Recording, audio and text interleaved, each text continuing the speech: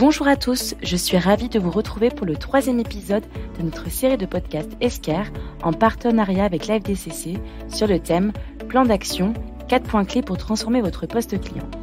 Nous allons aujourd'hui échanger autour de la fidélisation des talents dans les équipes financières. Je suis accompagnée de Catherine Place, DAF chez Esquire. Bonjour Catherine. Bonjour Emma. Alors pour commencer, peux-tu te présenter en quelques mots? Oui, bien sûr. Euh, je suis Catherine Place. Je suis directrice administrative et financière du groupe Esquer. Et avant ça, j'ai eu une expérience d'à peu près une quinzaine d'années dans un grand groupe international dans lequel j'ai eu plusieurs fonctions, type comptabilité, contrôle de gestion, consolidation financière. Et puis, à la fin euh, de cette euh, expérience, j'ai été directrice administrative et financière dans une activité de ce groupe. Et je suis partie d'ailleurs aux États-Unis. Peux-tu nous rappeler rapidement quels sont tes différents challenges en tant que directrice financière? Les différents enjeux que je dois adresser en tant que directrice administrative et financière sont de quatre, euh, de cinq peut-être. Le premier est de s'assurer qu'on a mis euh, en place tous les moyens, et quand je parle de tous, c'est euh, moi et l'équipe financière, pour reporter une donnée fiable et exacte de la santé financière de l'entreprise, afin de rassurer le marché et puis toutes nos parties prenantes externes. Le deuxième enjeu, c'est de s'assurer de la bonne gestion de la trésorerie pour euh, être capable de payer nos salariés en temps et en heure, mais également nos fournisseurs, les organismes sociaux euh, et fiscaux. Et puis, c'est également être un business partner euh, avec le comité exécutif afin de pouvoir les aiguiller sur toutes les décisions stratégiques qu'ils peuvent soulever. Et un nouvel enjeu, en fait, qui est très euh, particulier à Esquire et qui est un enjeu RSE, c'est de transformer la démarche RSE que nous avons aujourd'hui euh, au sein d'Esquire et de la transformer, en fait, en, stratégie RSE et d'accélérer et euh, d'implémenter cette stratégie RSE pour répondre aux nouvelles obligations. Et puis, le dernier enjeu, qui n'est pas l'un des moindres, c'est la rétention des talents, puisqu'en fait, il faut faire en sorte que l'équipe se sente bien et qu'elle reste chez nous. Effectivement, on sait qu'il est difficile de garder des talents et que certaines entreprises souffrent d'un trop fort turnover. Qu'est-ce que tu en penses? Je pense que c'est effectivement une réalité puisque je l'ai vécu dans mon précédent poste. Comme je vous le disais, j'ai travaillé dans une grande entreprise et c'était vraiment une, une des difficultés majeures. Et justement, est-ce que tu as pu identifier les principales causes de ce turnover en entreprise? Alors oui, à mon sens, en fait, d'après ce que j'ai pu voir dans mes postes précédents, la cause principale d'une démission, en fait, est liée au manque de vision et d'intérêt qu'un collaborateur euh, trouvera dans son poste. En fait, si il ou elle n'arrive pas à mettre le doigt sur euh, sa place et sa valeur ajoutée dans l'entreprise, je pense qu'en fait tout ce qui est euh, motivation, autonomie, prise d'initiative, en fait, ne seront plus au rendez-vous.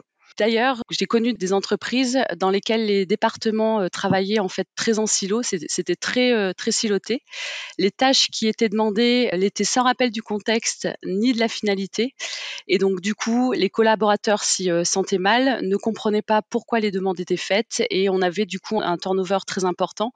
Et au sein même de mon équipe à l'époque, le turnover était de 70%, ce qui est vraiment énorme. Et quelles sont les retombées d'un turnover important dans une équipe finance? Alors les, les, retombées en fait euh, ne sont vraiment pas bénéfiques puisque le départ d'un collaborateur en finance peut vraiment mettre l'équipe en difficulté puisqu'en fait en tant qu'équipe financière nous devons répondre à des obligations légales selon un, calendrier très strict et du coup un départ pendant une période de clôture par exemple met vraiment euh, l'équipe en difficulté car le travail doit toujours être fait et puis les, rapports doivent être euh, délivrés et en fait on ne peut pas mettre en suspens ou retarder une échéance comme on le ferait sur un projet. Réglementation en fait nous impose d'être euh, vraiment à l'heure. Et donc dans le cas d'un départ, cela veut dire que la charge de travail va être répartie sur les autres collaborateurs, ils vont devoir absorber cette charge. Et donc du coup, les contrôles seront beaucoup moins bien faits, voire ne seront pas faits, les risques d'erreur seront plus grands. Et donc du coup, on va avoir des difficultés à fiabiliser la donnée financière. Et par exemple, si je peux donner un, peu un, cas d'application, quand on applique du coup cette difficulté sur la partie euh, trésorerie, ça peut vouloir dire pour une équipe financière des difficultés à aller chercher l'argent qui se trouve à l'extérieur, des difficultés à lettrer les comptes clients, donc potentiellement des relances inutiles, etc., etc. Voilà, donc en fait pour moi les retombées d'un turnover important sont vraiment un souci dans une équipe financière. As-tu remarqué un changement ces dernières années dans les métiers de la finance? Est-ce que vous utilisez plus d'outils qu'auparavant? Lesquels et pour faire quoi? On utilise effectivement beaucoup plus d'outils qu'auparavant et c'est d'autant plus vrai que chez Esquire, on utilise nos propres outils. En fait, les outils nous permettent d'automatiser les transactions de back-office pour donc les directions financières, mais également celles des achats et des ventes. Ça élimine toutes les saisies manuelles et ça nous permet d'éviter les erreurs, ce qui nous permet en fait finalement à la fin de fiabiliser la donnée. Ça permet également de créer des pistes d'audit qui seront plus facilement auditées par euh, nos CAC. Et le fait de vouloir mettre en place un outil est aussi un moyen de repenser ces processus existants et d'en élaborer s'ils n'existent euh, pas encore. Par exemple, la mise en place de Cash Application chez nous va nous permettre de lettrer automatiquement les paiements clients, éviter euh, de les relancer sur un paiement qui a déjà été fait, donc par ce fait, euh, ne pas euh, relancer le client et donc ne pas ternir la relation, puisqu'en fait, relancer un client qui a déjà payé sa facture peut l'amener à être un petit peu énervé. Et ça va également nous permettre de supprimer des process manuels et donc, du coup, des, comme je le disais, des relances incorrectes.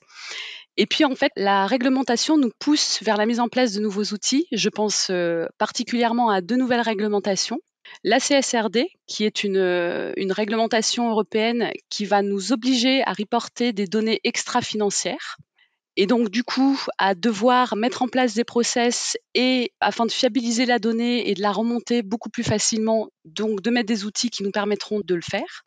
Et puis, je pense aussi à la loi de finances B2B, Esker a déposé son dossier de candidature pour être PDP. Donc PDP, c'est plateforme de dématérialisation partenaire. Et également un autre dossier pour la phase pilote, dossier qui a d'ailleurs récemment reçu la, la mention excellente par l'administration.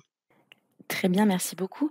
Et quelle action as-tu pu mettre en place ou que tu voudrais mettre en place dans ton équipe pour garder tes collaborateurs et aussi attirer de nouveaux talents? Alors, j'ai mis des actions en place. Elles sont au nombre de trois. La première, en fait, c'est de comprendre ce que chacun veut faire et comment ça peut s'intégrer dans la gestion d'équipe. Parce que je pars du principe que quelqu'un qui est heureux dans son boulot va pouvoir être autonome, proposer de nouvelles idées et avoir euh, une chouette prise d'initiative.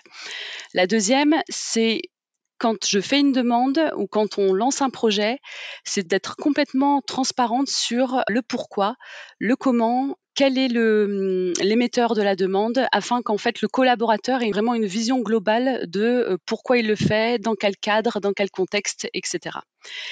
Et enfin, la troisième, c'est que quand une personne travaille sur un projet, je vais vraiment faire en sorte qu'elle soit valorisée, c'est-à-dire qu'elle va venir avec moi ou présenter elle-même euh, son projet afin euh, justement de pouvoir valoriser son travail.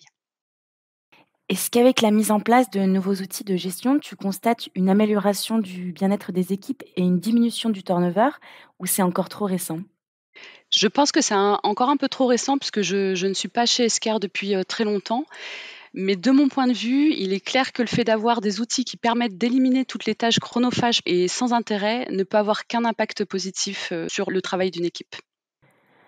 Alors on aime bien terminer nos épisodes avec un tips à retenir Qu'est-ce que tu recommanderais aux personnes qui nous écoutent aujourd'hui pour les aider à fidéliser les talents des métiers de la finance? Alors, la recommandation que j'aurais, c'est de rendre d'essayer de rendre la fonction finance beaucoup plus visible en faisant comprendre au reste de l'entreprise l'importance de cette fonction, ce qu'elle réalise et pourquoi. Et la deuxième, c'est la valorisation des équipes finance euh, auprès de l'entreprise. Merci beaucoup pour ton témoignage, Catherine. On se retrouve prochainement pour notre prochain épisode qui portera sur le maintien d'une bonne relation client. Si ce sujet vous intéresse, n'hésitez pas à consulter notre site www.escar.fr ou le site de la FDCC www.afdcc.fr. À très bientôt. Merci, Catherine. Merci.